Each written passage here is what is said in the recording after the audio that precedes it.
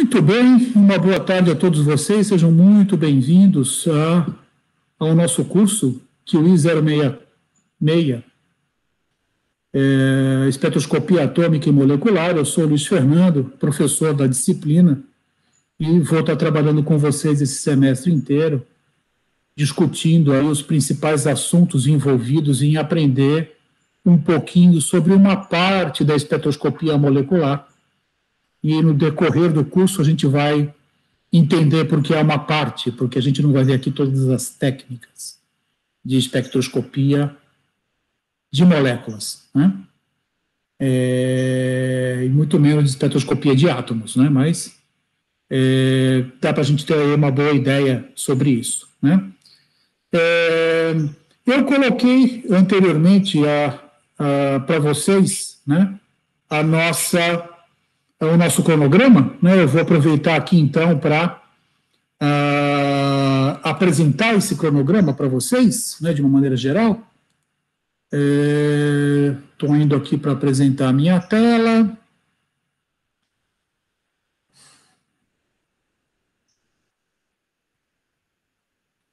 Para eu apresentar minha tela, cronograma está aqui. Né? Então, como eu falei, que o I066, espectroscopia atômica e molecular, toda sexta-feira às duas horas da tarde. Né? E esse aqui é o conjunto de assuntos que a gente vai ter. Eu dividi mais ou menos esses assuntos para as datas, né? então nós vamos é, formalmente em aula até o dia 10 de setembro, né? lembrando que um desses dias aqui tem um feriado no meio, né? É, mas sempre a cada sexta-feira a gente vai ter um determinado assunto que a gente vai tratar e ele se inicia e se encerra, né? É, no próprio dia, né? Então, apesar de a gente ter duas aulas sobre estrutura da matéria, né, é, e uma ser sequencial à outra, né? Você pode muito bem entender, né? Se você não assistiu uma e assistiu outra, ou vice-versa, né? Ou mesmo diz respeito a, a espectroscopia de absorção do infravermelho e efeito Raman, né, de tal maneira que a gente é, tem aí um conjunto de assuntos bastante pontual para tratar. Né? É, como vocês podem perceber, eu não estou deixando, eu não marquei dias para provas, tá? É, porque essa disciplina não tem prova, tá bom? É, a gente vai apresentar para vocês trabalhos para serem feitos durante o decorrer do curso. Né? É, muitas vezes esses trabalhos é, dependem muito do nosso próprio rendimento, das coisas que a gente vai conversando aqui, né? mas tem algumas coisas que são básicas, é, como calcular é, energias de vibração ou discutir alguma coisa referente ao modelo é, do oscilador harmônico ou alguma coisa do ponto de vista do é, movimento harmônico simples. É, vamos ver como é que a gente vai indo para frente. Eu vou passando para vocês, né? Para vocês é, fazerem esses trabalhos e nos entregar. Vai ser em cima desses trabalhos que a gente então vai poder é, fazer uma avaliação é, bastante superficial, né? É, da participação de vocês aqui na disciplina, tá ok? Então, a gente não vai ter prova formalmente falando, tá ok? É, então a gente espera que até no mês de setembro a gente consiga terminar tudo, né? Lembrando que o nosso semestre formalmente se encerra 15 de setembro. E além disso, aqui também tem as bibliografias, se bem que a cada assunto, né? É, ou a cada, a cada fim de assunto, eu vou mostrar para vocês uma bibliografia mais específica e muitas vezes muito mais abrangente do que essa que está aqui colocada. Né? É, isso aqui, como eu tirei isso aqui do contexto da estrutura da disciplina, até aqui colocado, né? É, mas é trabalho 1, trabalho 2, trabalho 3, né, para ter uma nota. Né? Então, é, não se preocupem. E, logicamente, eu não mudei o nome do meu tutor aqui é a Juliana, perdão, eu depois mudo isso aqui, tá ok? É, então é isso, né? Dentro do contexto é, da nossa disciplina, é, o que eu queria falar sobre a estrutura do curso é essa. Como eu falei, eu vou dar todas as aulas, uh, uma ou outra aula a Juliana vai estar trabalhando com vocês, isso faz parte do próprio aprendizado pelo qual a Juliana está passando. A Juliana é, é, minha aluna de iniciação científica, já vem trabalhando comigo há dois anos, e ela tá, tem estudado bastante né, esses assuntos, de tal maneira que ela pretende se tornar também uma especialista nisso. Tá ok? É, eu espero que a gente consiga perceber né, que é, isso aqui não é uma disciplina formal, de que o grande interesse nosso aqui é fazer com que vocês aprendam minimamente, né? É, a parte do que a gente vai tratar aqui, é óbvio que é, seria ingenuidade da minha parte imaginar que vocês vão aprender tudo sobre tudo que a gente vai tratar, né? Porque nem eu até hoje consegui aprender tudo sobre tudo isso. Né? É, mas eu espero que a gente consiga é, partir desse princípio, né? porque isso vai nos permitir é, desenvolver um outro tipo de postura em relação à disciplina como um todo, né? que a gente não precise ficar aqui é, né? É, imaginando que eu, como professor, sou um inimigo mortal de cada um de vocês, os alunos, que eu estou aqui para né, é, é, acabar com a vida de vocês, que vocês estão aqui para infernizar minha vida, não é nada disso. Né? É, isso aqui tem que ser um processo de simbiose, no qual eu tenho um monte de informação para dar para vocês, e vocês devem estar sedentos por essa informação, de tal maneira que a gente consiga progredir juntos, e que a gente chegue no último dia de aula, né? É, eu, da minha parte, um tanto quanto esvaído, né? é, de conhecimento e vocês né, bastante encharcados desse conhecimento. Né? É, Para isso é preciso que vocês se dediquem a é, acompanhar a disciplina, tentar estudar algumas coisas, vários dos pontos que a gente for chamando a atenção de vocês, né? de tal maneira que a gente possa, é, como eu chamei a atenção aqui, progredir, né? aprender e crescer cientificamente. Tá bom? É, sendo assim, então, é fundamental que, é, se por qualquer motivo vocês não estejam entendendo qualquer coisa que eu esteja falando, de alguma maneira, parem, perguntem, conversem, né? É, porque senão isso aqui vai se tornar uma daquelas disciplinas que aquele professor chato vem falar, fala, fala, fala, termina a hora da disciplina, cada um vai para um canto. Né? É, e não é esse o princípio da coisa, não é essa a ideia da coisa. Né? É, eu sou um apaixonado pelo assunto, né? desde que eu comecei a estudar isso, eu venho cada vez mais e mais me apaixonando, e eu acho, né, é, a, a cada vez que eu leio ou que eu estudo alguma coisa, eu encontro um motivo a mais para eu é, me apaixonar mais ainda, né? Então, eu sou suspeito para falar né, sobre é, espectroscopia de uma maneira geral, mas é, espectroscopia é um dos fundamentos para se entender química e física, né, é, relacionadas à estrutura da matéria, tá certo? Então, é fundamental, né, é, principalmente para vocês que são aí aspirantes a químicos, né? Então, eu imagino que é, vocês, de alguma maneira, é, estejam imbuídos desse espírito de querer aprender. Tá ok? É, de vocês eu já conheço o Frederico, né? Porque já foi meu aluno, né? É, eu peço desculpa às meninas, eu acho que vocês já foram minhas alunas lá em Química das Soluções, né? Mas como é um desses cursos remotos, eu não consigo é, vincular a imagem de vocês com a imagem de ninguém, com que eu conheça. Né? A Júlia, a gente andou conversando sobre a possibilidade de é, trabalho de laboratório. Se um dia o laboratório voltar a trabalhar, é, com certeza a gente vai ter a chance de falar sobre isso, né, ao vivo e a cores. Tá?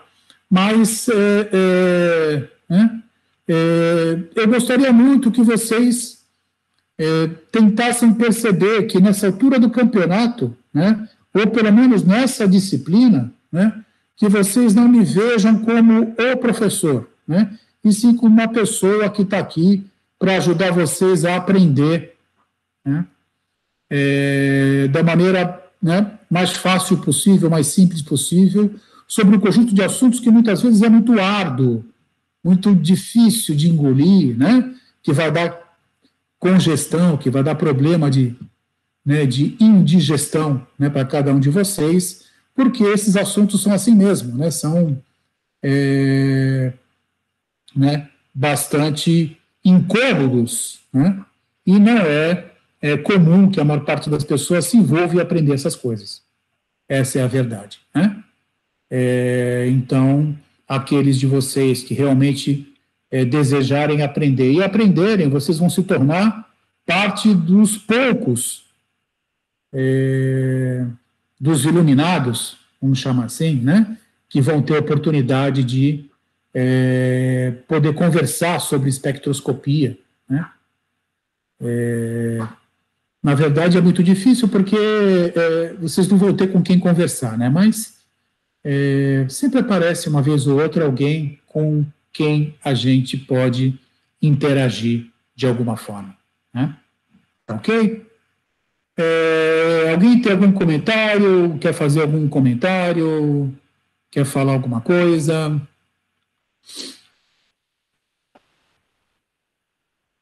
Porque assim, é, eu vou passar é, para apresentar um conjunto de slides que eu tenho aqui de introdução.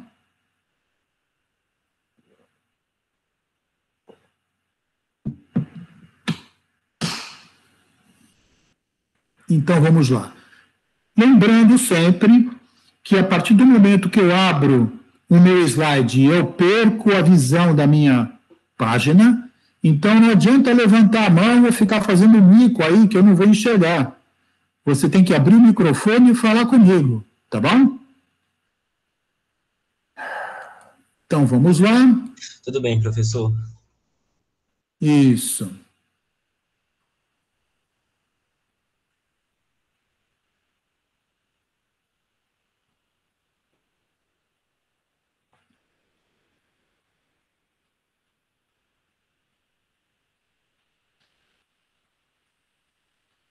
Então está aí. Né? é um curso de ensino remoto emergencial, introdução à espectroscopia, na verdade o nome do curso é espectroscopia atômica e molecular. Né? É, esse sou eu, Luiz Fernando. Eu sou coordenador desse laboratório, desse núcleo de espectroscopia e estrutura molecular no Departamento de Química da Universidade Federal de Juiz de Fora. Né? É um nome bonito e pomposo para um laboratório é, que a gente vem trabalhando tem mais de 20 anos, tá? É, aqui eu estou apresentando para vocês o conjunto de assuntos que a gente vai tratar durante o curso como um todo. Então, é, nós vamos começar estudando estrutura da matéria. Então, é lógico que a gente vai apresentar aqui uma pequena história, né? É, não há como fugir né, de se estudar estrutura da matéria sem entender um pouco da história, principalmente do ponto de vista da espectroscopia. E uma vez que a gente conseguir é, minimamente entender como é que a matéria se organiza, a gente vai é, tentar ver de que maneira é, elementos químicos se organizam e interagem para formar compostos químicos, tá ok? Então, nós vamos estudar ligações químicas. Nós não vamos estudar todos os tipos de ligações químicas, a gente vai estudar é, de uma maneira mais específica uma teoria que nos permite entender de uma maneira mais ampla né, as interações entre átomos que formam moléculas. Tá certo? Uma vez que a gente entendeu isso, a gente vai estudar é, de que forma é, podemos entender como acontecem as transições de elétrons na estrutura de moléculas de íons e de átomos, tá certo? De que maneira a gente pode é, perturbar né, é, a estrutura de um determinado sistema químico para que esse sistema responda a essa perturbação via transição eletrônica e, em isso acontecendo, é, que outros fenômenos vão estar associados para que a gente possa obter informações sobre essas transições. Né? Logicamente, ao estudar transições eletrônicas, a gente vai ter a chance de estudar um pouquinho sobre regras de seleção de transições né, entre é, níveis de energia, né, e a gente vai fazer algumas generalizações. É claro que isso se aplica a transições eletrônicas, mas isso é aplicável a qualquer sistema né, que a gente queira descrever que tem um estado de energia menor, né, o qual vai ser perturbado e ele passa por um estado de, de energia maior e essa interação pode ser descrita né, é, de uma determinada maneira com regras que regem esse processo, tá bom? Uma vez que isso aqui tenha sido entendido, nós vamos passar a entender de que maneira eu posso descrever é, o movimento de átomos na estrutura de uma molécula. Para que a gente entenda a vibração molecular, eu preciso necessariamente entender é, a física básica por trás disso. Né? O movimento associado a duas bolas ligadas por uma mola se movendo. Né? Então, para isso, nós vamos estudar o movimento harmônico simples. Né? Estudado o movimento harmônico simples e todas as suas implicações, a gente passa para é, entender a vibração molecular, ou seja, a gente passa do modelo de bola e mola para uma molécula, né? é, para que a gente possa entender de que maneira a energia associada a esse movimento né, é, existe né, na estrutura dessas espécies químicas.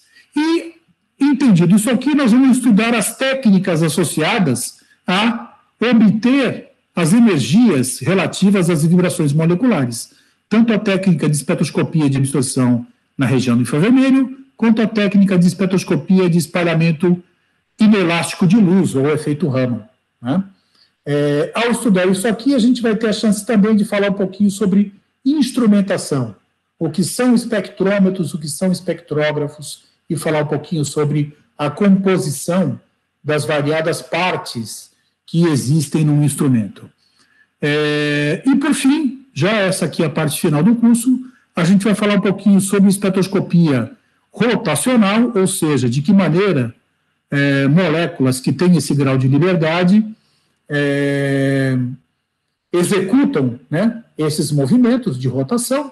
E, por fim, vamos falar sobre espectroscopia de emissão, né, é, de luminescência, né, de emissão fluorescente fosforescente ou quimioluminescente, de tal forma que a gente possa também entender, é, de uma forma geral, como se processam esses processos né, de é, espectroscopia. Tá? Então, isso aqui é um, uma pequena visão, né, como um todo, do que a gente vai estudar no curso. E, se vocês lembrarem, eu falei que isso aqui é um curso de espectroscopia molecular, mas que não esgota porque a gente não vai estudar outras técnicas é, moleculares, tais como ressonância magnética nuclear, ressonância magnética paraeletrônica é, e né, outras. É, a gente está aqui bastante centrado em espectroscopia eletrônica e vibracional, tá ok? Muito bem. Do ponto de vista prático, né, é, a palavra espectroscopia foi cunhada no século XIX, né? E ela é derivada da palavra espectro, que significa espírito, em latim, e da palavra grega scopeina, que significa olhar para o mundo. Isso aqui vem a partir dos primeiros trabalhos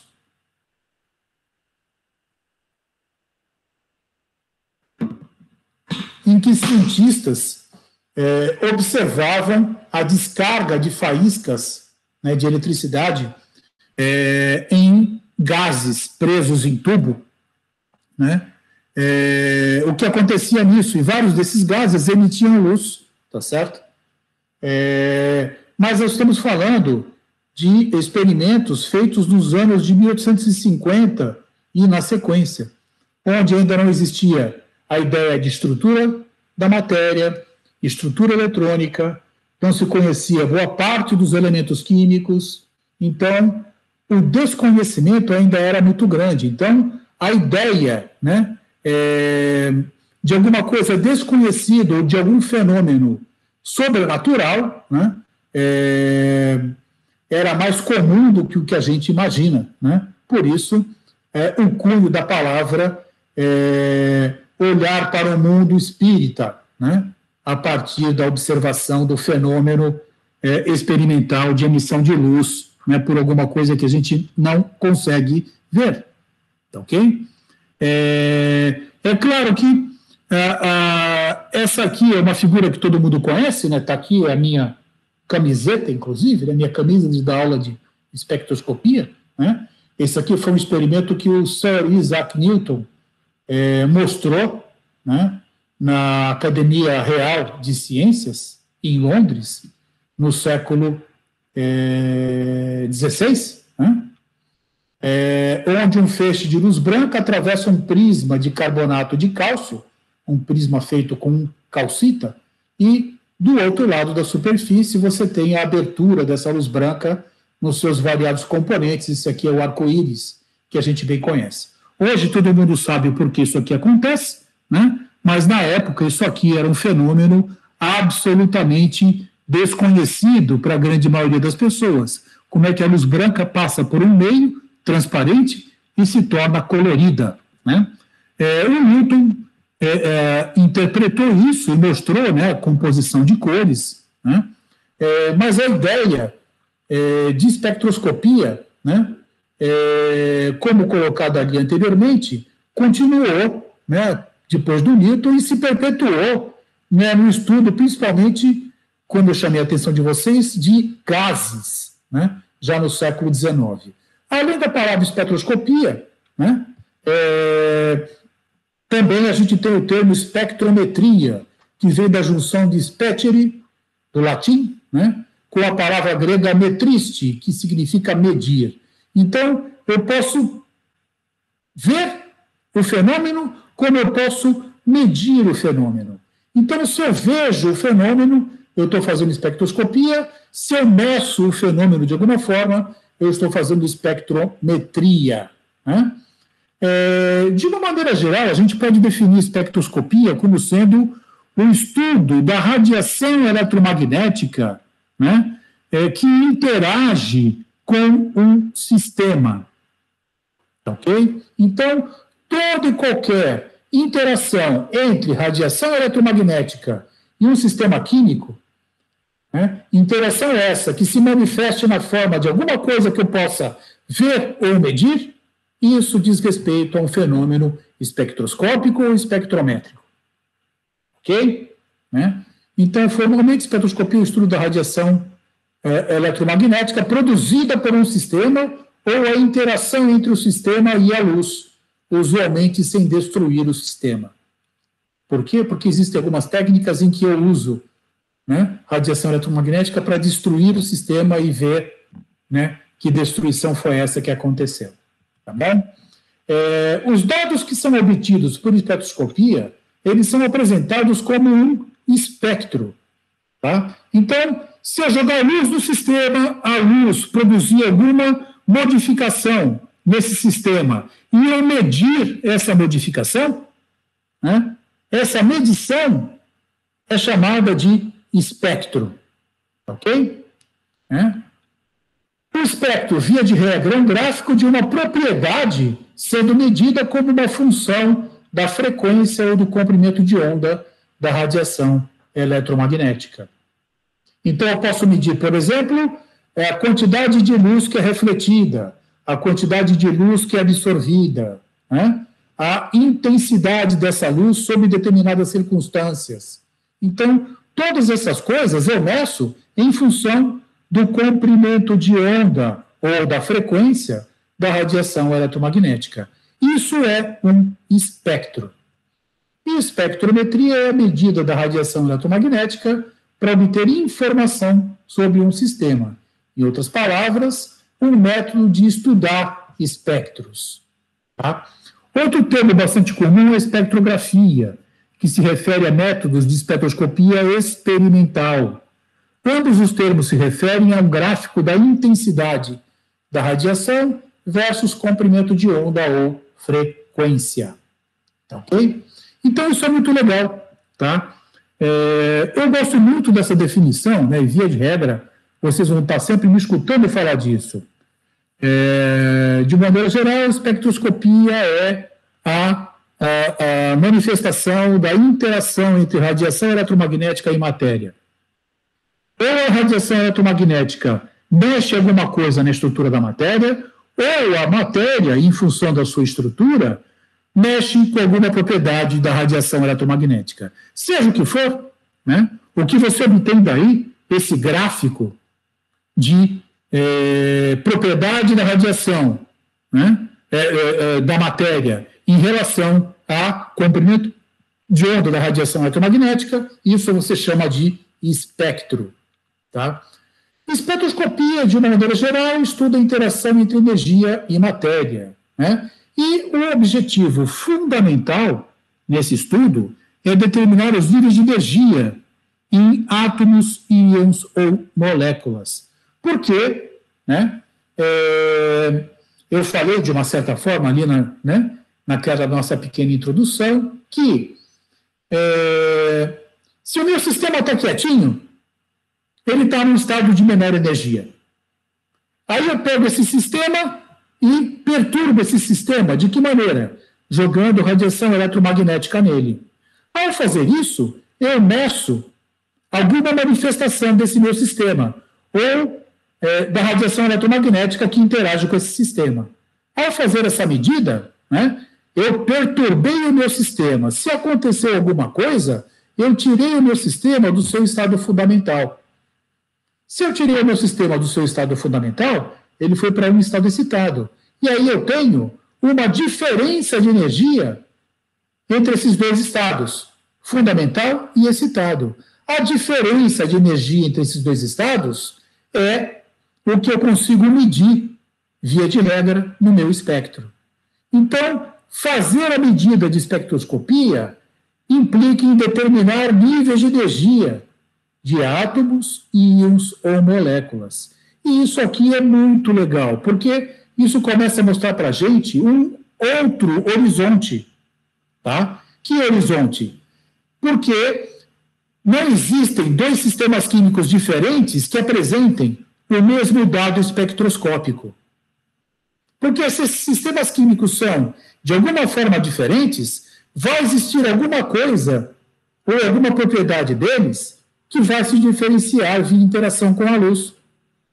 Então, vão existir medidas experimentais espectroscópicas que vão me permitir diferenciar esses sistemas químicos. Então, portanto, fazer isso implica em determinar né, uma espécie de impressão digital para cada um dos sistemas químicos que eu esteja medindo. Tá? Então, a técnica de espectroscopia nos permite obter diretamente as diferenças entre os níveis de energia, que são as chamadas transições, dentro do modelo que a gente vai mostrar para vocês. Ok?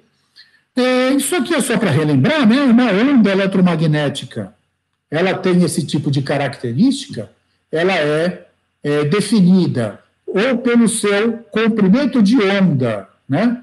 ou pela sua frequência, o número de vezes que essa onda passa numa origem e por unidade de tempo, tá certo?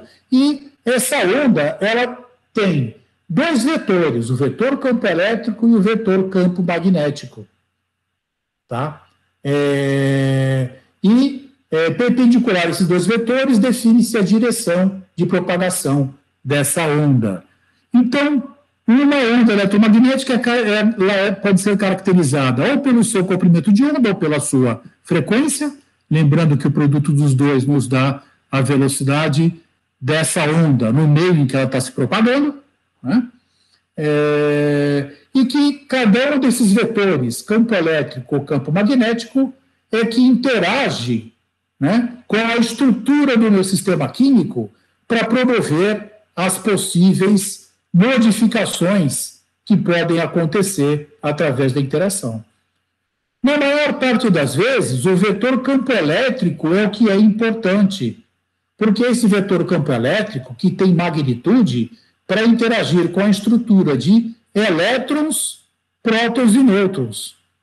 Tá? Enquanto que o campo magnético tem é, capacidade de interagir com a estrutura magnética, principalmente de é, núcleos, né, mas também de elétrons, de tal maneira que você pode pensar numa ordem de grandeza de campo magnético que você tenha alinhamento né, é, das magnitudes magnéticas das espécies que compõem a estrutura é, química do meu sistema.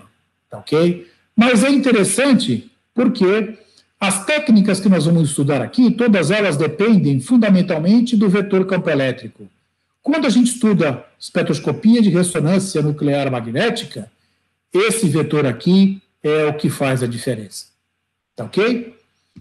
Então, uma onda eletromagnética tem essas características. E é muito interessante porque, variando a, a, o comprimento de onda ou a frequência, né, eu tenho é, diferentes possibilidades de interação dessa radiação né, com o sistema de interesse.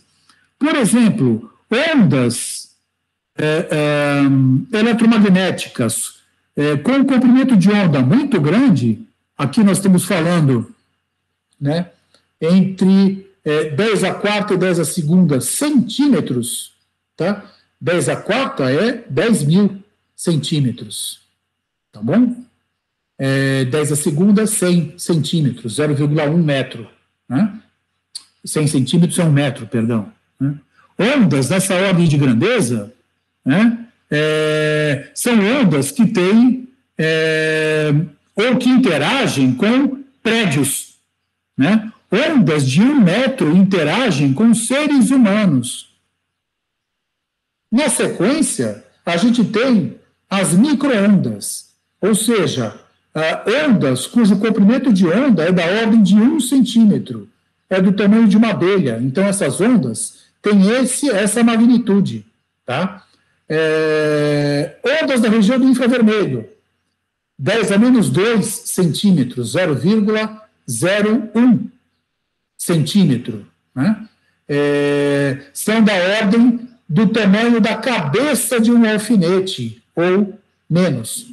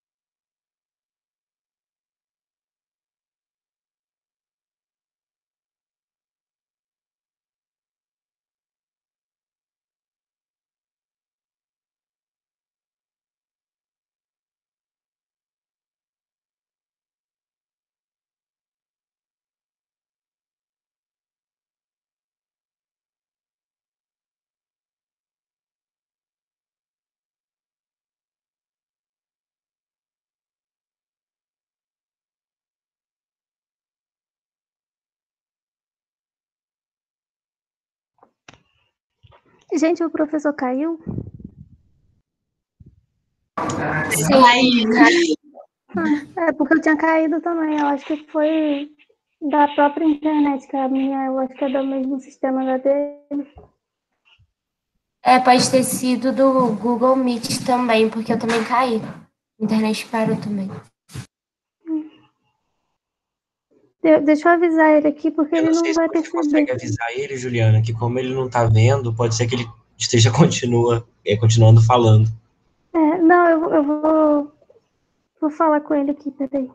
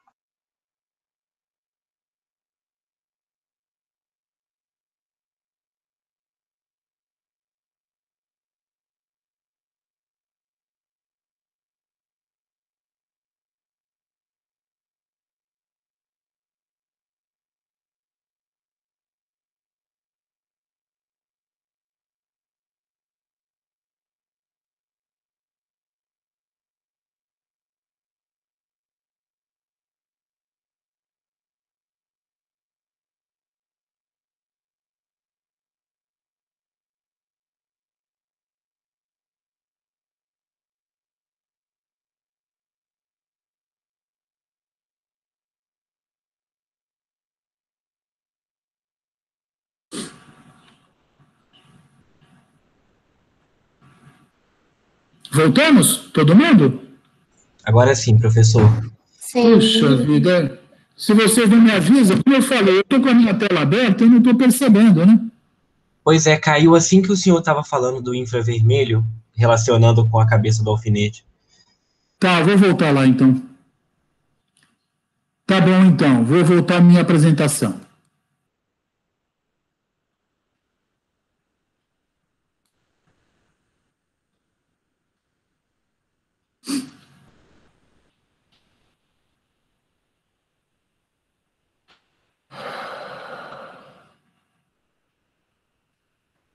Aqui?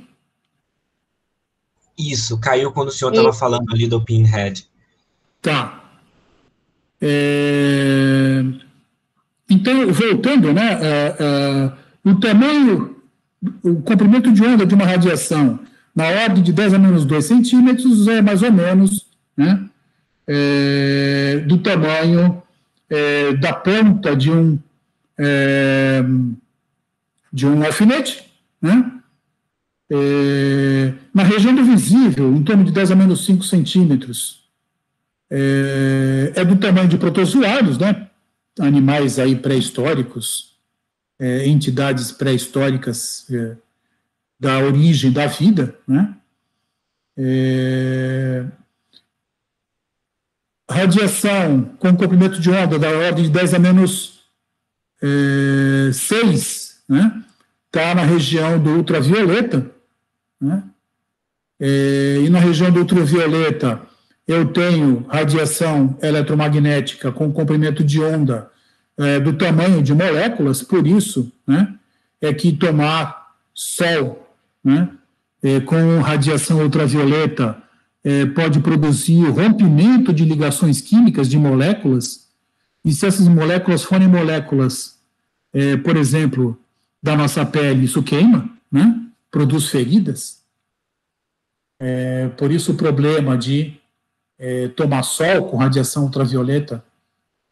É, na região dos raios-x, 10 a menos 8 centímetros, a gente tem aí comprimento de onda para interação com átomos, né? e na região de 10 a menos 10 a 10 a menos 12 centímetros, eu tenho radiação eletromagnética com é, comprimento de onda da ordem de grandeza do tamanho de núcleos atômicos. Isso é bastante interessante porque essa, essa radiação geralmente ela é é, gerada a partir de fissão nuclear. Tá ok? Então, esse aí é o nosso. É, uma visão geral né, é, do tamanho. Falando de cada um em específico, a gente tem aqui as ondas de rádio, né, que vão mais ou menos de é, 3 metros até cerca de 1 quilômetro. Né? É, essas aqui hoje já saíram de circulação, né? É, é, a gente praticamente não usa mais ondas de rádio AM, né? Só usa ondas para TV e para frequência modulada, né? É, essas aqui são muito grandes, né? E são difíceis de interagir, né? Quanto maior for o tamanho da onda, né? É, é um problema, né? Porque, é, por exemplo, uma cidade como Juiz de Fora, que você tem muito morro, né? É, é, o morro se colocando entre a fonte emissora e o detetor, né, a antena, é, ele não permite que essa onda passe, né? Então, aqui em Juiz de Fora é muito comum, né, de você ter é, lugares onde a antena não pega, né, a, a determinadas é, TVs, né? Você tem que usar de algum subterfúgio. O mesmo se aplica a algumas ondas de rádio né? algumas uh, emissoras de rádio, tá ok? É, na região de microondas, tá? A gente tem aí a faixa que vai de 30 até cerca de 0,3, 0,2 centímetros a menos 1, né? Essa região aqui é a região de radar, é de domínio militar, né? É, e aqui a gente tem as variadas bandas que hoje são usadas principalmente em telefonia celular, né? começou com a banda L lá nos anos 90 e a gente vem caminhando cada vez mais, né? É porque quanto menor o comprimento, maior a opção né, de processos é, associados à transmissão, né? Na região infravermelho, essa aqui é, é, é uma é, onda eletromagnética que é, dá, transmite a sensação de calor, porque ela tem comprimento de onda da ordem de grandeza do tamanho da molécula e faz com que átomos na estrutura da molécula entrem em movimento. Né? E esse movimento é, é desses átomos na estrutura produz um aquecimento e consequente emissão de calor por parte do material. Né? Isso acontece é, nessa região do infravermelho médio, o infravermelho longínquo é, a gente tem a parte de rotação é, molecular, onde é, é isso, logicamente, para sistemas que têm esse grau de liberdade, né? Então, para fases líquida e fase gasosa, né? E a região do infravermelho próximo está muito perto do visível. É na região do infravermelho médio que eu tenho as vibrações moleculares, e elas estão associadas ao calor. Aqui eu tenho uma imagem é, térmica de uma câmera com detetor infravermelho que mede a emissão de radiação eletromagnética é, por uma fonte, né, em função do calor que essa fonte é, tem. Né. Na região do visível, a gente então tem o é, infravermelho, né, é, e o ultravioleta nas duas pontas, e por todo o visível tem o do vermelho ao violeta, né? É, essa aqui é a faixa que os nossos olhos, né, o nosso visor é, consegue detectar, a gente não consegue ver nem infravermelho nem ultravioleta, apesar que ambas as radiações promovem danos ao nosso sistema visual, tá? E a gente tem aqui uma foto de um arco-íris, que é um conjunto de gotículas na atmosfera é, que difratam um feixe de luz branca do Sol refletido em nuvem. Né? Então, é também um fenômeno que, quando foi explicado cientificamente, deixou de ser um mau agouro, como era visto. Né? Na região ultravioleta, a gente tem três faixas, né? o, violeta, ultravioleta é, próximo, o distante e o extremo. Essas três faixas, a, a, a menos ruim delas está aqui, o, o ultravioleta próximo, mas mesmo assim, ele já é danoso o suficiente, porque é, praticamente todas as moléculas orgânicas que tenham ligação carbono-oxigênio, ou seja, praticamente tudo, principalmente em sistemas vivos, absorvem essa radiação, né? e aqui ela tem energia para romper a ligação química. Tá? É, nessa região aqui, a gente não recebe essa radiação aqui no nosso planeta, porque é, moléculas em fase gasosa absorvem essa radiação mas varia aí da faixa de é, 10 até é, 10 nanômetros até 0,3 microns. Ok? É, a região dos raios-x, né, é bem conhecido, né, principalmente em função do trabalho do Röntgen, o cara que descobriu isso e que publicou no artigo que ele descobriu é, a imagem da mão da mulher dele. Né? O, o cidadão foi esperto o suficiente para pegar a mão da mulher, ele não pôs a dele. O raio é X porque eu não conheço ele, não sei o que ele faz, então eu não ponho minha mão. Vem cá, Maria, dá sua mão aqui para mim. Né? Essa radiação tem comprimentos de onda da ordem de 0,03 nanômetros, né? é, até valores próximos de 3 nanômetros, e elas são do tamanho é, do volume de átomos, geralmente átomos com número atômico maior ou igual a é, 10, né? É, de tal forma que esses átomos, então, conseguem interagir e difratar essa radiação, que é o que está acontecendo aqui. A radiação não passou, né? É, eu falei Z igual a 20, perdão, né? a partir do cálcio. Né? O carbono, o hidrogênio e o oxigênio são transparentes a essa radiação X. Tá? Via de regra, os equipamentos que hoje a gente tem no laboratório que medem estrutura cristalina conseguem difratar essa radiação X, mesmo átomos de carbono, oxigênio, nitrogênio. Ainda não é possível difratar o hidrogênio, tá ok? É...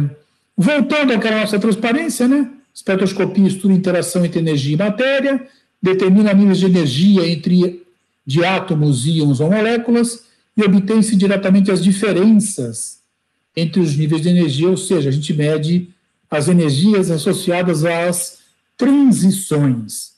Essa aqui é uma relação fundamental, né? É, o delta E entre dois níveis de energia é igual a HNI, essa aqui é a famosa equação de Planck, né? e substituindo frequência né, como é, C sobre lambda, né? então eu tenho que esse delta E é HC sobre lambda, onde H é a constante de Planck.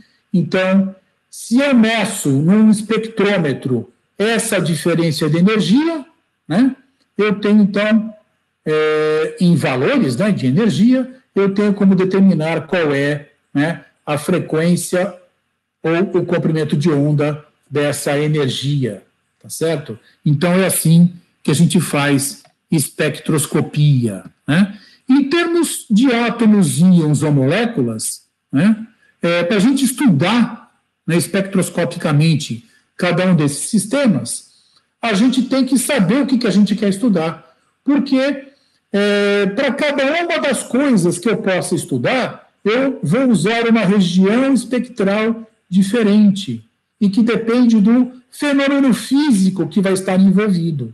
Por exemplo, se eu quero estudar transição eletrônica na estrutura de um íon, de um átomo ou de uma molécula, eu tenho que ir, ir na região do visível do espectro eletromagnético, porque é essa radiação eletromagnética que tem energia suficiente e eficiente para promover a transição eletrônica. Se eu quero estudar transições vibracionais, ou seja, como é que átomos vibram na estrutura de uma molécula, ou como é que essa molécula é, se manifesta na forma de calor, né, do ponto de vista da sua energia, eu tenho que ir na região do infravermelho. E isso aqui é meio óbvio, não se aplica a estudar átomos, porque átomos não se unem para formar ligações químicas. Se eles se unem para formar ligação química, eles são moléculas, não são átomos. Tá bom? E, logicamente, se eu estou interessado em estudar uma transição rotacional, eu vou na região de microondas, logicamente para sistemas que tenham esse grau de liberdade. Não me apareça no laboratório querendo estudar a estrutura rotacional de um sólido, porque um sólido não tem liberdade para rotacionar a molécula naquela estrutura. Tá?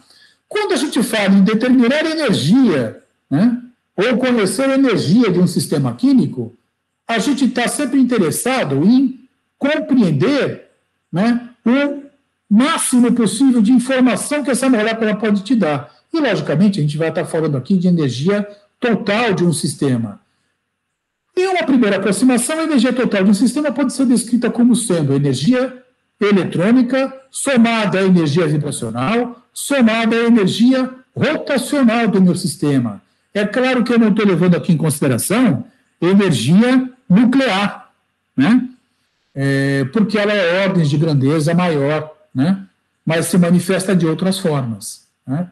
É, dentro desse contexto, a gente sabe que, em termos é, é, de ordem de grandeza, a energia eletrônica é muito maior que a energia vibracional, que por sua ordem é muito maior do que a energia rotacional. Ou seja, a energia associada a promover uma transição eletrônica, né, ela é muito maior, ela necessita de mais energia, porque é um processo mais difícil do que energia vibracional, que por sua vez requer mais energia e é muito mais difícil de acontecer do que energia de rotação. Tenham isso na cabeça. Para promover uma transição eletrônica, eu tenho que tirar um elétron da estrutura de uma molécula de um nível de energia menor para um nível de energia maior. Por isso eu preciso de muita energia, comparado com a energia de fazer movimentar dois átomos na estrutura de uma molécula, no movimento periódico harmônico. Tá? Que, por sua vez, né, requer mais energia do que simplesmente permitir que uma molécula rotacione no espaço. A energia associada a esse movimento é muito menor em termos de ordem de grandeza. Tá bom? É, numa aproximação bastante grosseira, mas bastante é, é, é razoável, né, a gente pode considerar que esses níveis podem ser tratados de maneira separada. Né? Ou seja, ah, estudar radiação, é, transição eletrônica, estudar transição vibracional, estudar transição rotacional.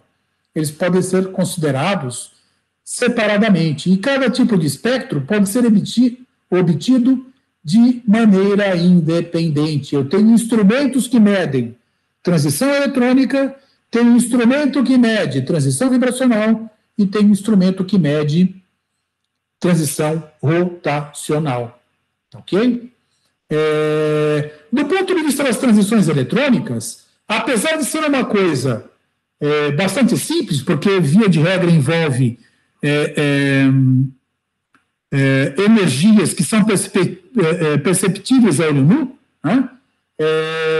mesmo assim, dependendo do tipo de transição na estrutura né, de uma molécula, de um íon ou de um átomo, tem situações as quais são complicadas de serem percebidas. Aqui a gente tem né, o conjunto de linhas de emissão para o átomo de hidrogênio. Tá ok? Então a gente tem a, a, série de Lima, a série de Balmer, série de Paskin, de Brackett, de Funde. Né? É, e cada uma delas foi sendo obtida em função, ou foi sendo percebida e entendida em função do grau de compreensão da estrutura da matéria. E é isso que a gente vai estudar na nossa próxima aula. Nós vamos ver de que maneira o átomo de hidrogênio pode se organizar né, estruturalmente a partir da sua configuração eletrônica para que isso aqui possa ser entendido. Tá? Então, aqui a gente tem um espectro de é, emissão de um átomo de hidrogênio a partir das transições a série de Balmer é do nível 2 né, para o nível 1. É, um, né? Essa é a série de Balmer. A série de Paskin é do nível 3 né, para o nível 2 para o nível 1. E assim consecutivamente. E cada um deles foi sendo obtido, historicamente, para vocês terem uma ideia, a série de Funde ela só foi observada já nos anos 1930, né, onde toda essa estrutura já era muito bem conhecida. Tá?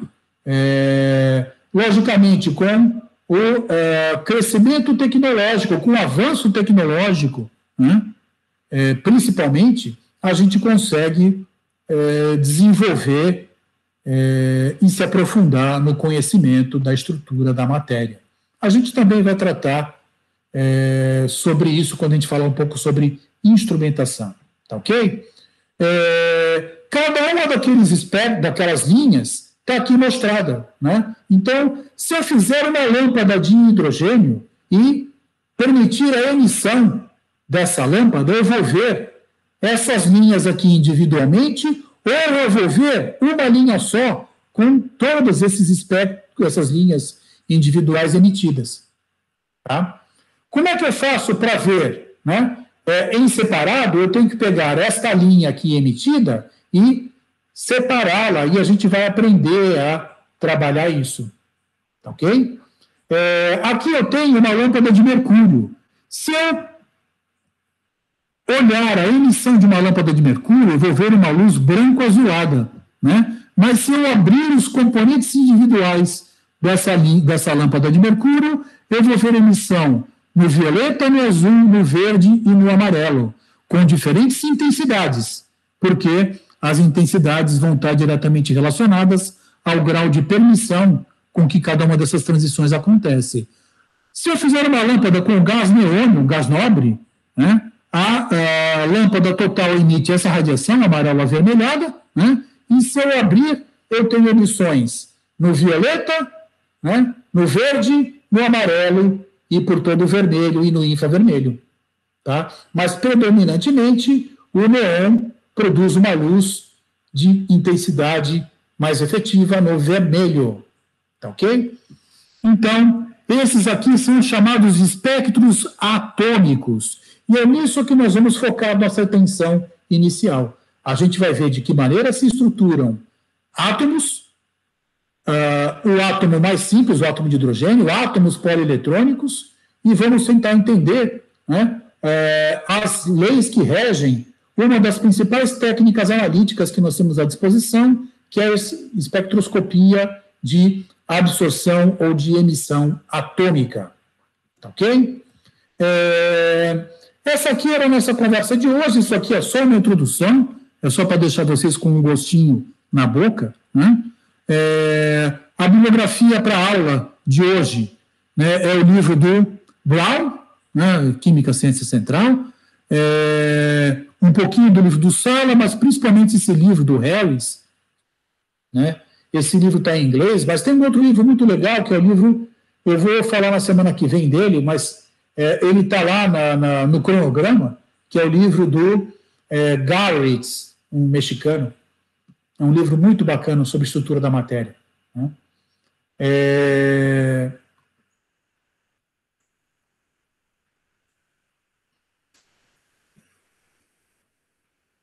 Então é isso, meus meninos e minhas meninas. É, essa era a conversinha que eu queria ter com vocês hoje, né? Como eu chamei a atenção, eu espero que isso aí é, seja o início né, de um, um conjunto de aulas e atividades bastante profícuo entre a gente, né?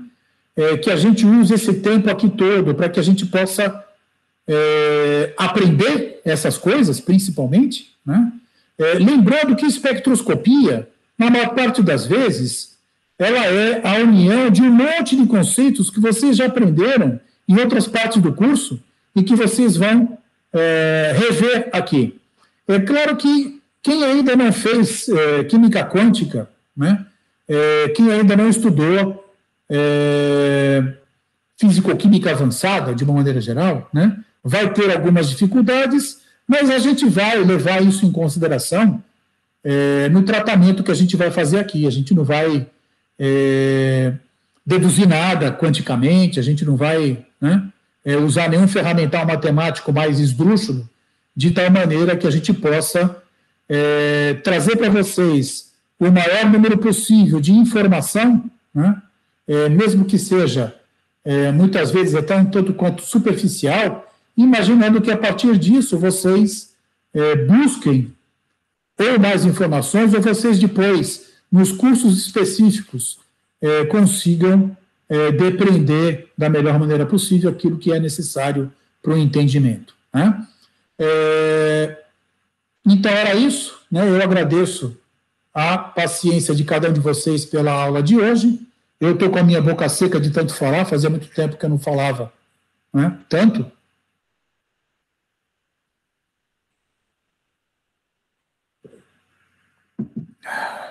Alguém tem alguma pergunta, alguma dúvida, algum comentário? É... Como eu falei, essa apresentação de hoje, cada uma das apresentações, a gente vai colocando no sistema para vocês, tá? É, bem como a aula gravada, né? Ela também vai ser colocada no sistema, ok? Fala, Fred. Então, professor, no início, o senhor mencionou a diferença das, dos termos, né? Espectroscopia e espectrometria.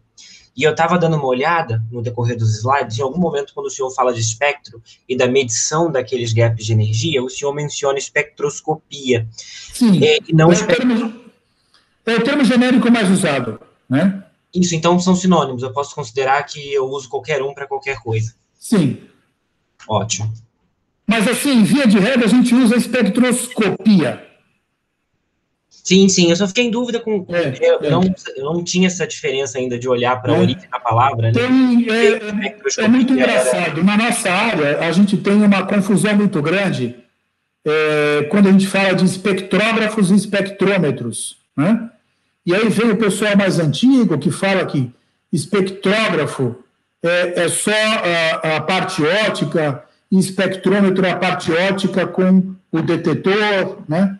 Tem gente que chama de é, espectrofotômetro, é o sistema que tem duplo feixe. É, a gente vai ter uma das aulas que a gente vai falar de instrumentos e a gente vai retornar nesse assunto em particular para falar sobre espectrógrafos e espectrômetros. Mas, do ponto de vista formal, né, toda qualquer interação entre radiação eletromagnética e matéria trata como espectroscopia. Tá ok? Beleza, foi só isso mesmo. O resto tá eu bom. não consegui acompanhar. Obrigado, professor. Tá bom, imagina. Né? É... Mais alguma coisa, gente? Clara, Gabriele, Júlia, tudo certinho? Tá tudo certinho, sim, professor. Tudo certo, professor. Legal, tá? Então, como eu falei, é, assim que essa aula é, cair aqui no meu sistema, porque ela demora horas, né? É, eu coloco a gravação da aula à disposição para vocês. Também vou é, colocar o conjunto de slides né, é, para vocês e eu vou colocar alguns livros, tá certo? É, eu peço descrição a vocês porque eu vou colocar os PDFs desses livros e isso não é permitido, vocês sabem, né?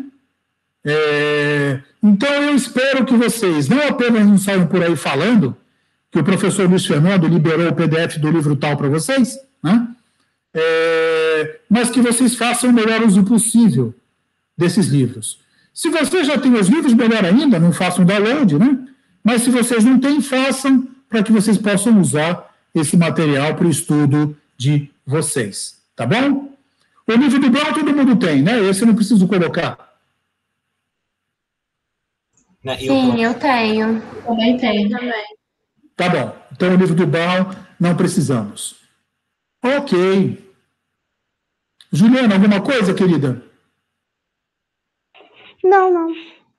Então, tá bom. Sendo assim, então, eu agradeço a todos vocês. A gente vai encerrando nossa aula aqui. Eu vou parar a gravação. Né? É, o que eu peço para vocês é vocês entrem com o nome completo no chat e dão um enter, porque isso fica registrado como a presença de cada um de vocês. Eu chamei a atenção que eu não é, vou reprovar ninguém por falta, não é essa a ideia, né? mas eu gosto de ter a, a, a, o domínio sobre essa presença. É isso mesmo, Fred, obrigado. Tá? Então, por favor. Né? Ótimo. É, sendo assim, eu já parei, vou parar aqui, para tudo, vou parar e interromper a gravação. Tá? Muito obrigado e até uma próxima semana. Tchau. Tchau, professor, obrigada. Tchau, professor, obrigada. Muito obrigado, professor. Boa tarde para o senhor. Para todos nós, obrigado.